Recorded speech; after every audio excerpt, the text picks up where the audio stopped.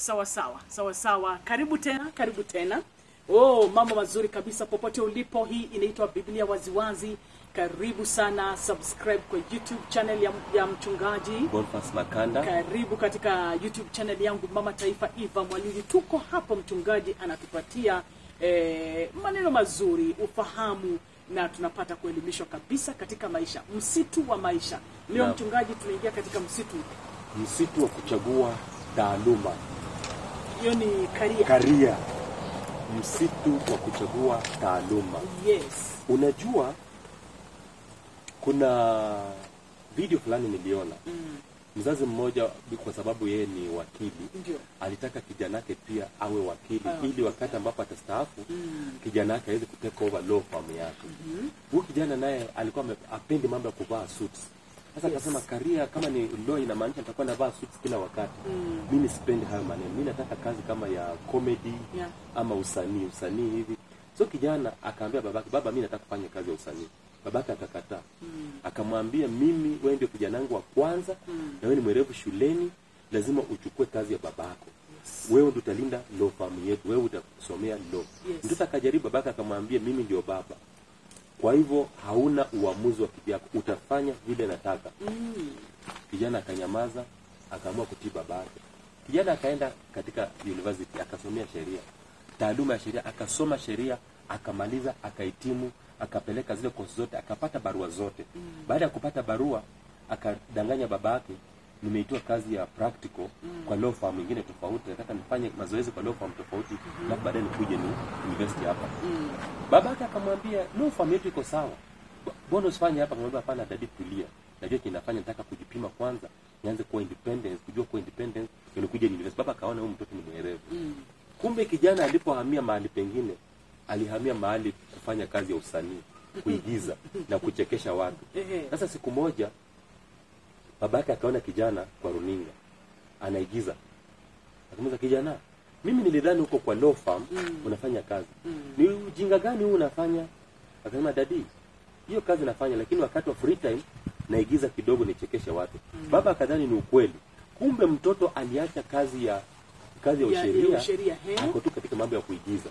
Akamwambia siku fulani ningependa kukuona uje nyumbani na nataka ku, kuevaluate ile kazi ulikuwa ukifanya, kuona vile unafanya, ndio niweze kujua kama unafanya sawa Mm. ama sivyo.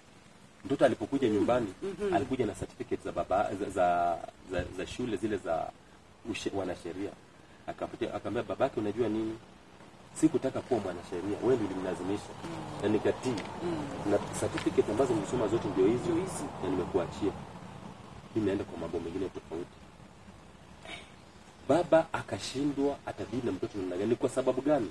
Mtoto aliona kwamba hata nikijilazimisha kuwa katika sheria nitakuwa nafanya kazi mahali pale Mm. lakini moyo wangu hauko mahali pale. mm, Kwa hivyo kama kuna mm. kitu kigumu katika kizazi hiki na katika watu wengi leo hii mm, ni kwamba kuna watu ambao leo hii wamejiingiza katika taaluma mm, ambapo hii taaluma hawakuifurahia, hawakuipenda, mm, hawakuitaka, mm. lakini walijipata wameingia mahali pale. kabisa kabisa Unajua, Biblia inasema kitabu cha Wakorintho wa kwanza sura ya pili mstari wa kumi na moja ya kwamba hakuna aelewaye mawazo ama moyo wa mwanadamu zaidi ya Mungu. mm, Kwa hivyo usipojua taaluma ya kuchagua vizuri, utajipata uko katika taaluma moja.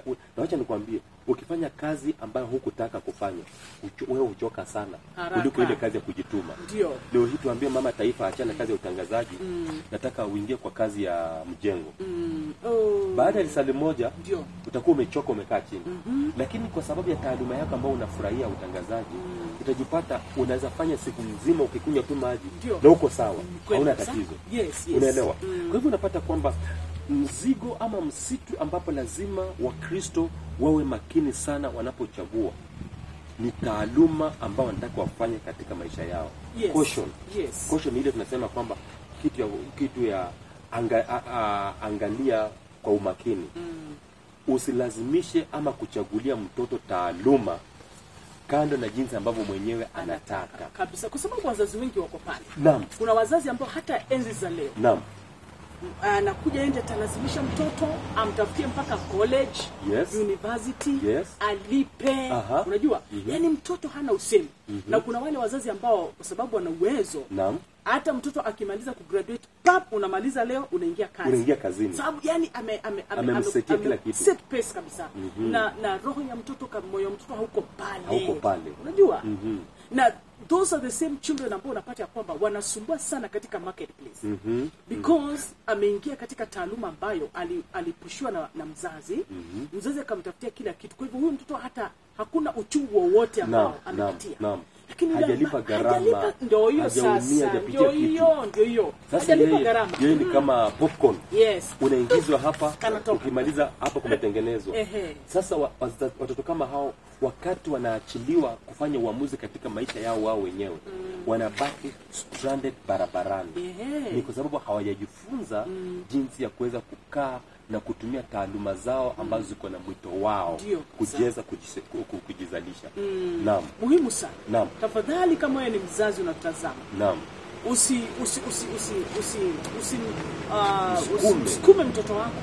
Katika msitu ambao hapendi yeah, kuingia. Yeah. atashindwa kutoka. Na unapata mahali popote ambapo sio calling yako mm, your productivity level inakuja chini hiyo ni point kali sana point kali sana hebu irudie mtu wakati uko katika msitu ambapo sio wako ama taaluma ambayo sio yako mm. your productivity level mm. inarudi chini kwa sababu number one mm. unafanya bila moyo wote mm. haujitumi mm. number two unapata kwamba unakuwa na divided attention. Biblia inasema kwamba mtu wa nia mbili husita katika njia zake zote. Na hapati chochote na hapati chochote. Yes. alafu pia unaua kile kinaitwa your self identity.